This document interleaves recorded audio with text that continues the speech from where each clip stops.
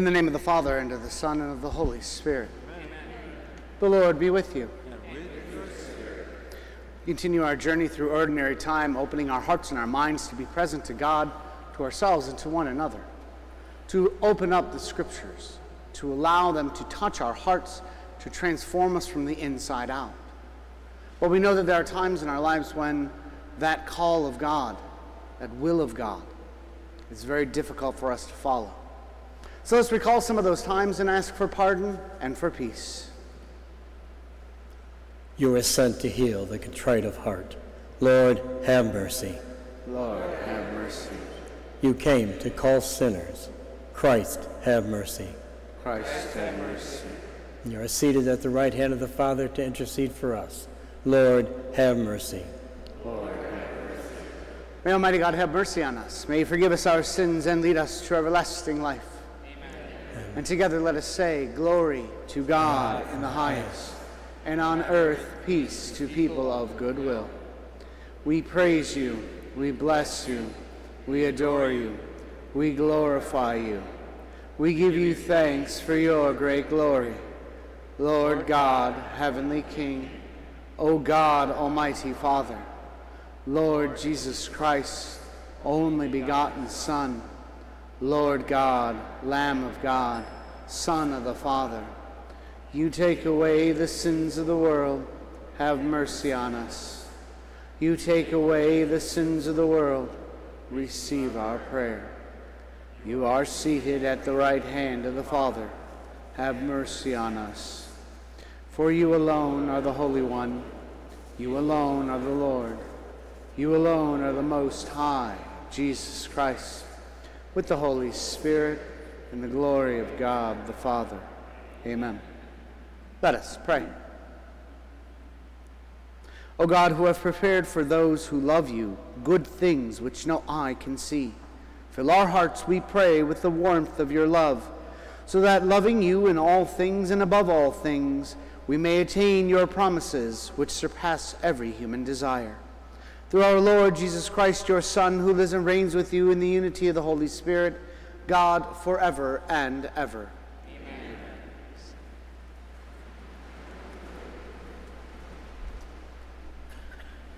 Amen.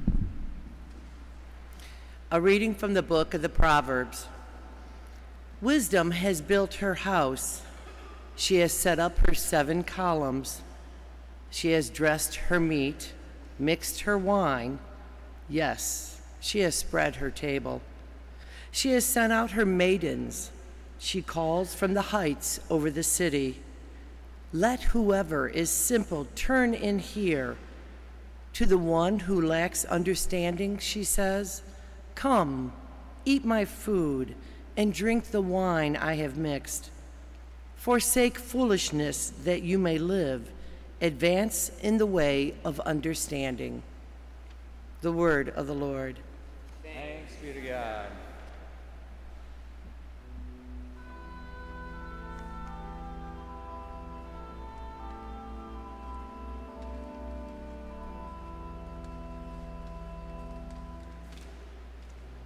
Taste and see the goodness of the Lord.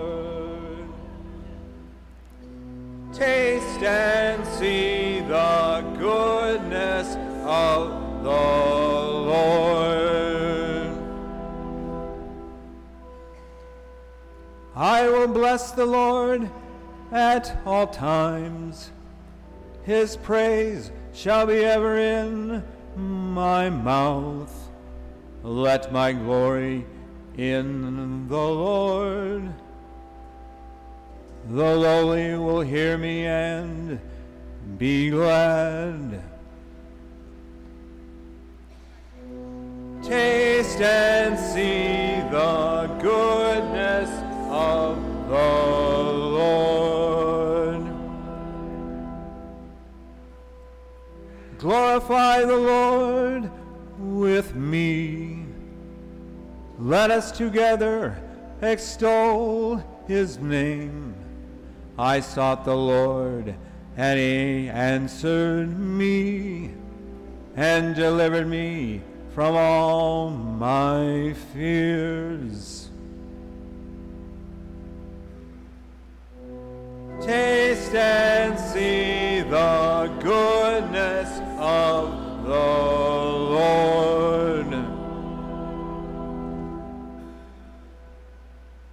Look to him that you may be radiant with joy, and your faces may not blush with shame.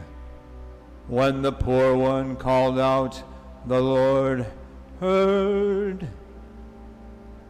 From all his distress, he saved him. Taste and see the goodness of the Lord.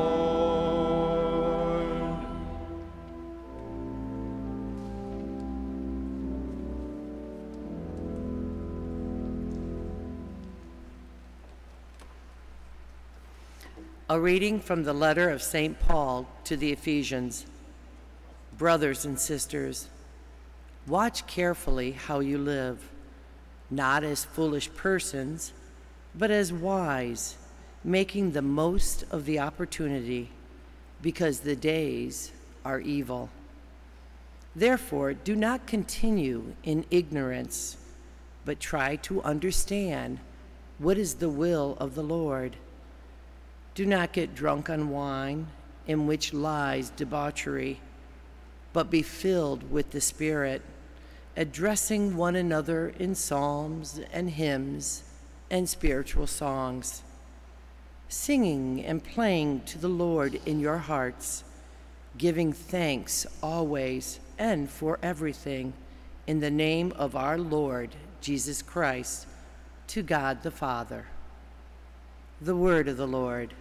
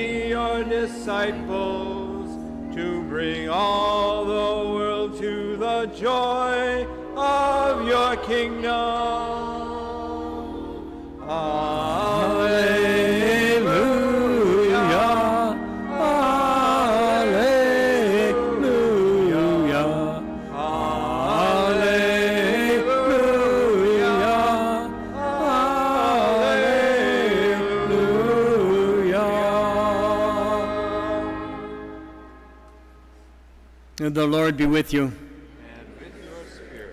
Reading from the Holy Gospel according to John.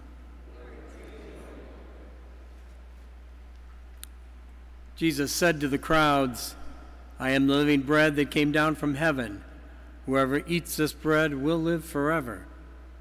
And the bread that I will give is my flesh for the life of the world. The Jews quarreled among themselves, saying, How can this man give us his flesh to eat? And Jesus said to them, Amen, amen, I say to you, unless you eat the flesh of the Son of Man and drink his blood, you do not have life within you. Whoever eats my flesh and drinks my blood has eternal life, and I will raise him on the last day. For my flesh is true food, and my blood is true drink.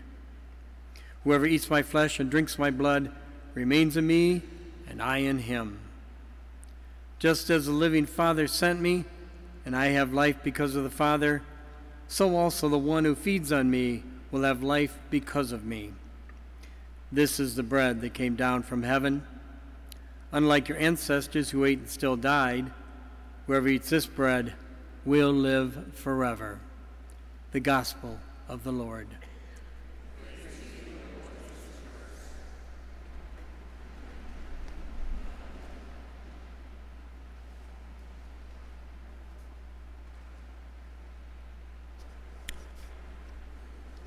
So, what we're dealing with in this, the last few weeks, is all really about expectation. The Jews expect something else.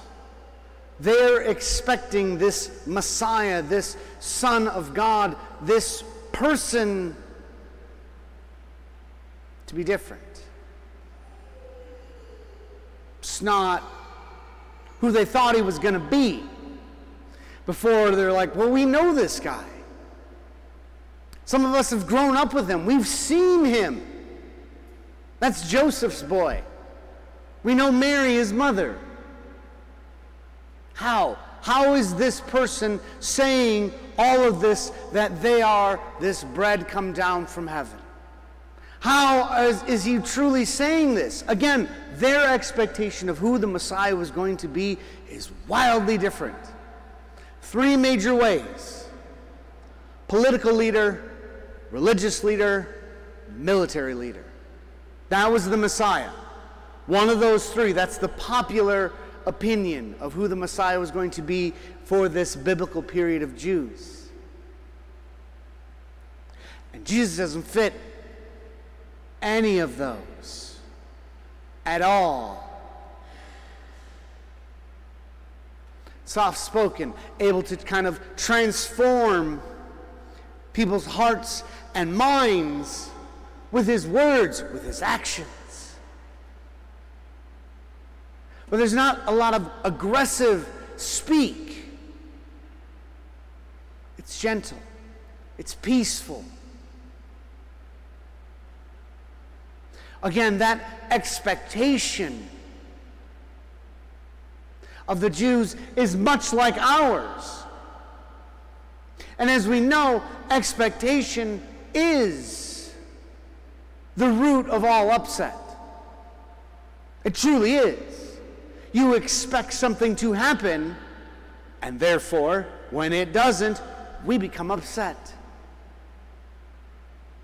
I expected this person to actually, you know, do their job to drive the speed limit.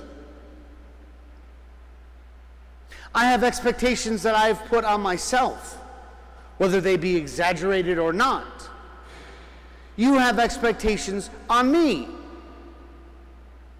in sense of getting you out early. We'll see.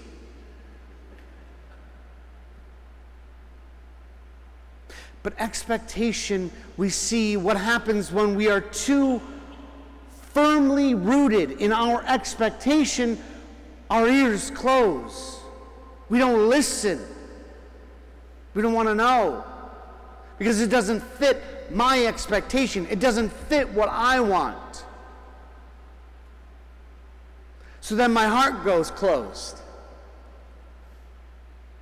I don't want to understand. I just want to be right. Interesting how that statement plays out for today anymore, isn't it? I don't want to understand others. I want to be right. And if I'm not right, well, if I yell loud enough, yeah, I'll be right then. Interesting.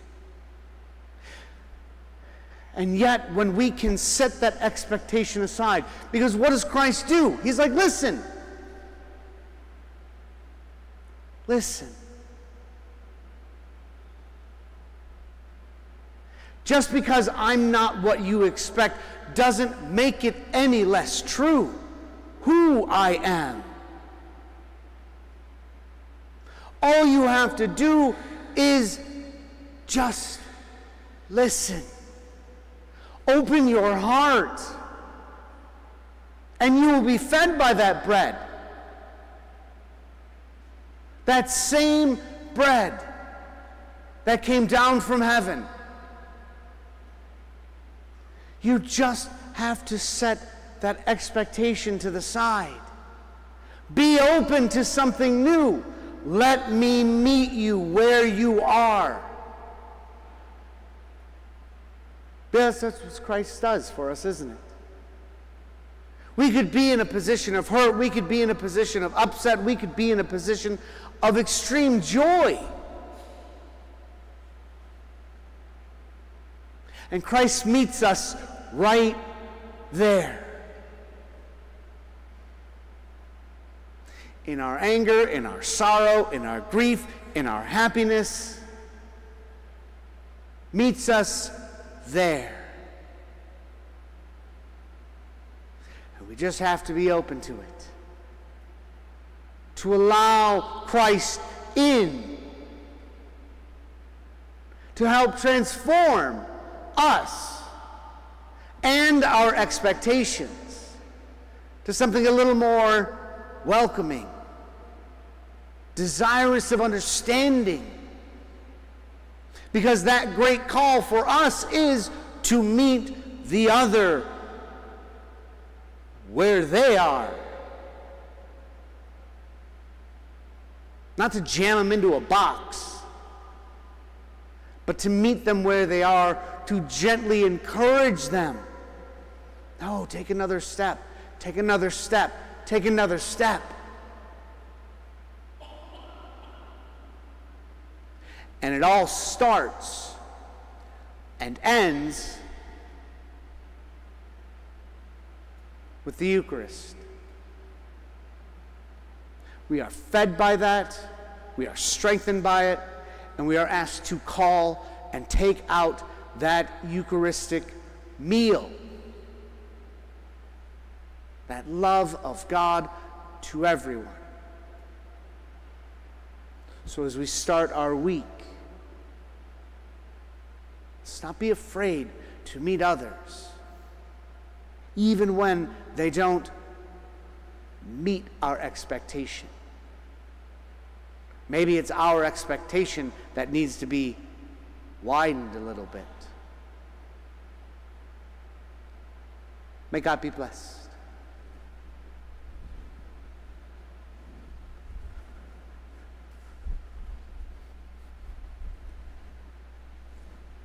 Let us stand now and profess our shared and common faith using the words of the Nicene Creed. I believe in one God, the Father Almighty, maker of heaven and earth, of all things visible and invisible. I believe in one Lord Jesus Christ, the only begotten Son of God, born of the Father before all ages, God from God, light from light true God from true God, begotten, not made, consubstantial with the Father. Through him all things were made.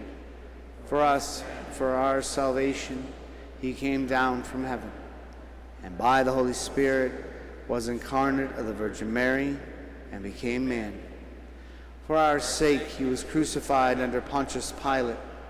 He suffered death and was buried, and rose again on the third day in accordance with the Scriptures. He ascended into heaven and is seated at the right hand of the Father.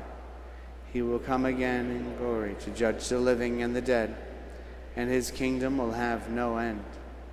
I believe in the Holy Spirit, the Lord, the giver of life, who proceeds to the Father and the Son, who with the Father and the Son is adored and glorified, who has spoken through the prophets. I believe in one holy Catholic and Apostolic Church. I confess one baptism for the forgiveness of sins, and I look forward to the resurrection of the dead and the life of the world to come. Amen. Turning now in confidence and love, we bring our prayers and our petitions for ourselves, our community, and our whole world.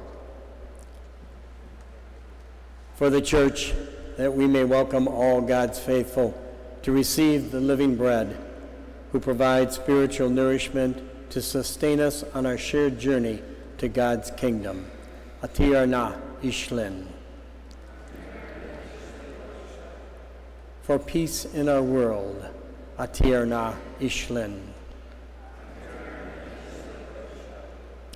For those who hunger spiritually, that they may find the thanksgiving and joy a relationship with Jesus Christ can bring to their lives. Atirna Ishlin. For those who suffer with eating disorders or dietary difficulties, that their suffering may be alleviated and that they experience support and healing.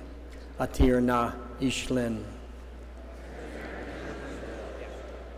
For students, teachers, and those returning to school over the coming days, may they enjoy the experience of camaraderie and learning as they seek the gifts of wisdom and understanding. Atirna Ishlin. For all who partake in the heavenly banquet, that they may be eternally thankful for the gift the bread of life brings to us. Atirna Ishlin. For Karen Bates, for whom this Mass is celebrated. Atirna Ishlin. God, our Heavenly Father, you know us and you love us. Hear our prayers and answer them according to your will. Change our hearts and our minds so that they match your will. We ask all this through Christ our Lord.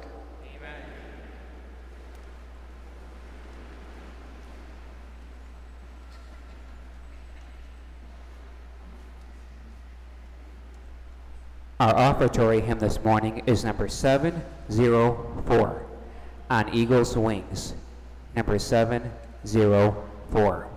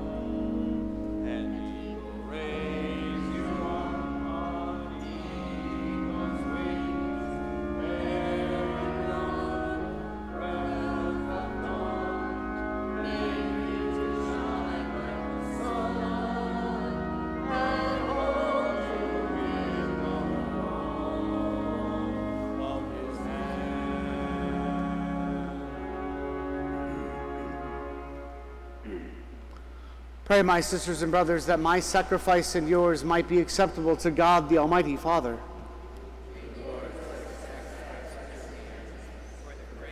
Glory of his name, for our good and good of all his holy church.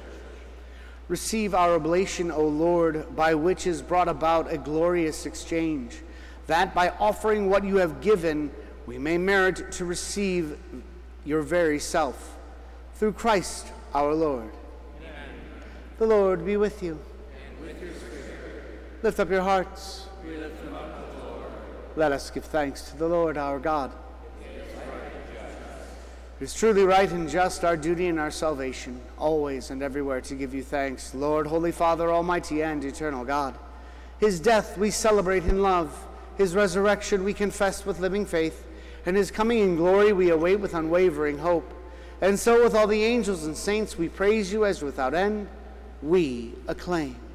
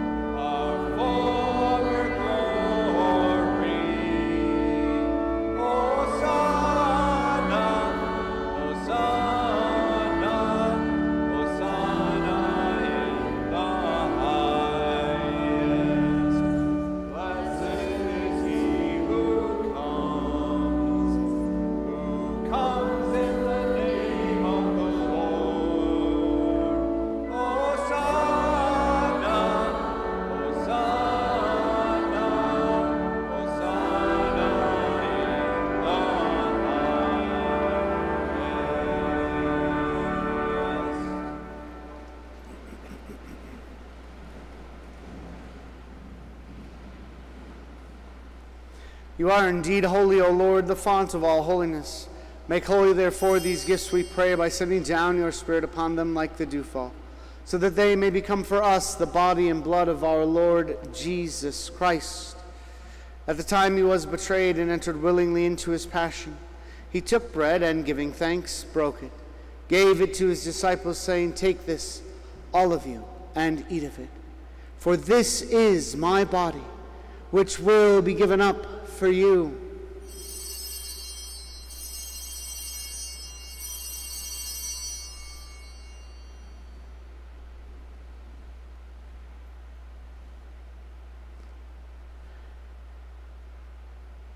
In a similar way, when supper was ended, he took the chalice.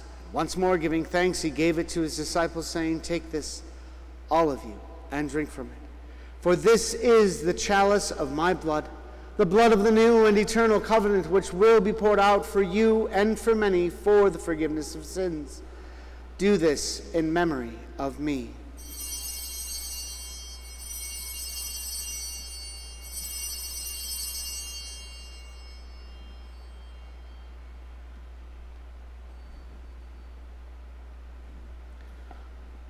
The mystery of faith.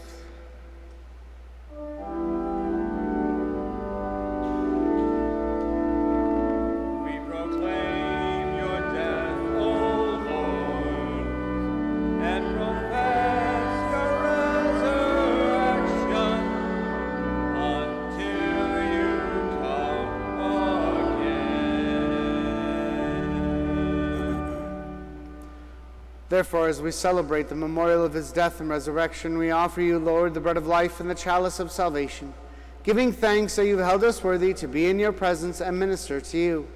Humbly we pray that partaking of the body and blood of Christ, we may be gathered into one by the Holy Spirit.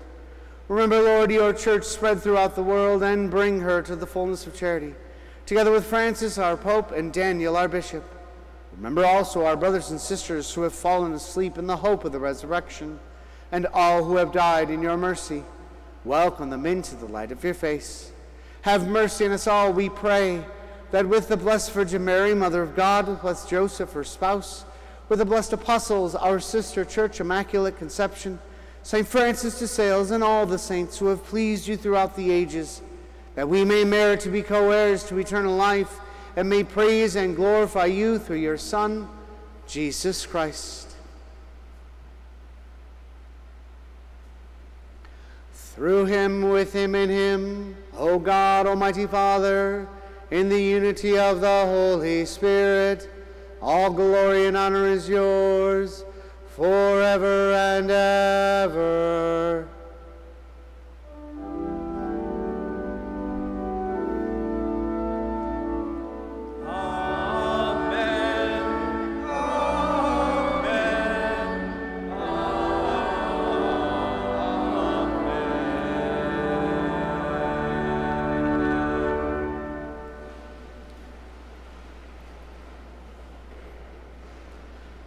At the Savior's command and formed by divine teaching, we dare to say, Our Father, who art in heaven, hallowed be thy name. Thy kingdom come, thy will be done, on earth as it is in heaven. Give us this day our daily bread, and forgive us our trespasses, as we forgive those who trespass against us. And lead us not into temptation, but deliver us. Deliver us, Lord, we pray, from every evil. Graciously grant peace in our days, that by the help of your mercy we may be always free from sin and safe from all distress, as we await the blessed hope and the coming of our Savior, Jesus Christ.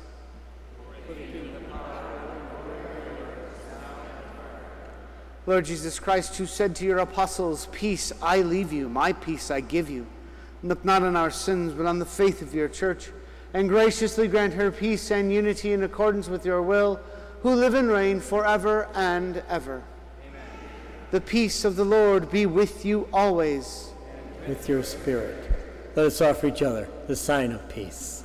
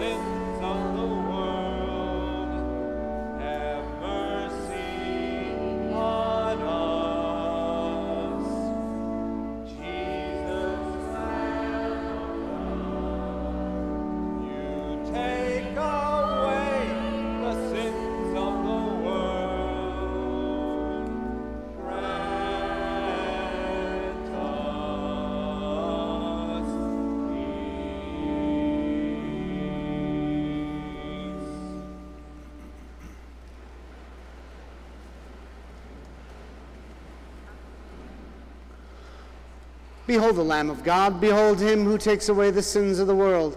Blessed are those called to the supper of the Lamb. Lord, I am not worthy that you should enter under my roof. Oh, Only say the word.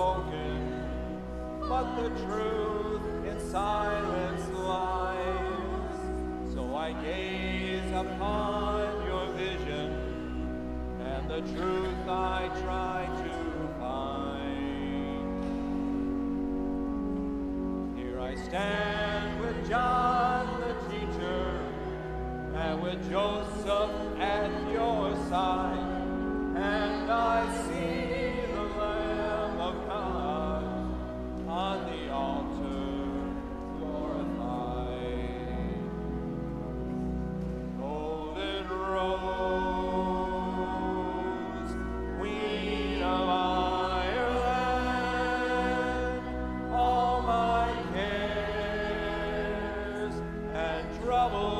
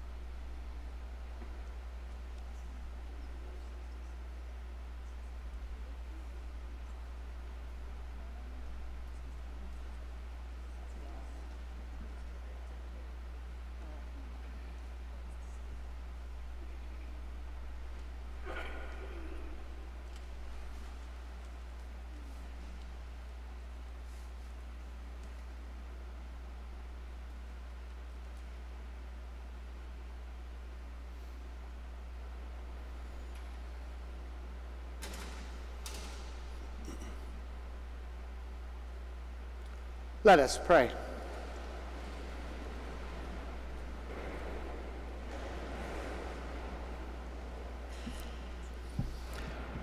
Made partakers of Christ through these sacraments, we humbly implore your mercy, Lord, that conformed to his image on earth, we may merit also to be co heirs in heaven, who lives and reigns forever and ever.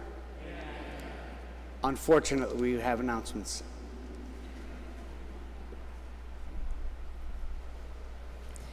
Interested in learning about the Catholic faith?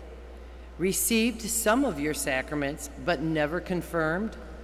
Registration forms and sign up sheets for OCIA, formerly RCIA, are available back in, in the back of church.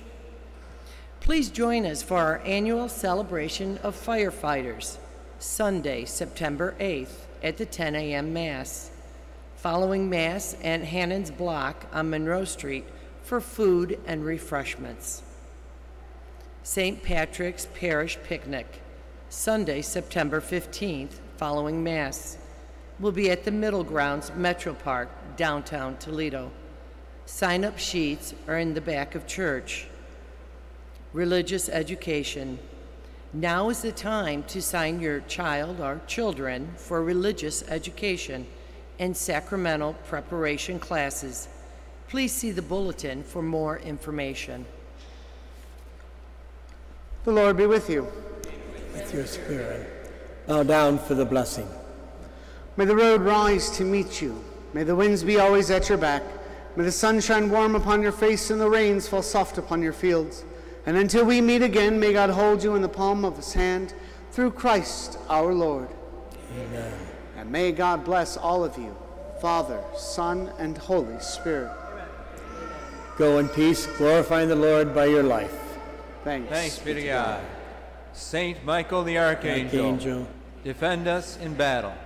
Be our safeguard against the wickedness and snares of the devil. May God rebuke him, we humbly pray. And you, O Prince of the heavenly hosts, by the power of God, cast down to hell Satan and the other evil spirits who prowl through the world for the ruin of souls. Amen.